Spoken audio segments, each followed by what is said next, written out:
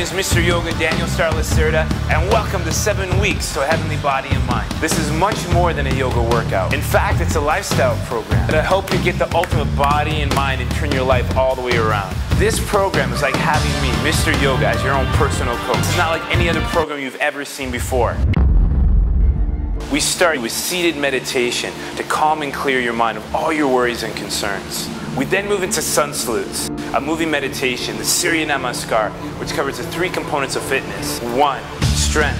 Two, flexibility. And three, fat blasting cardio. This includes downward dog shoulder presses, sculpt and build the shoulders and the arms. We're gonna strengthen your back and say goodbye to lower back pain.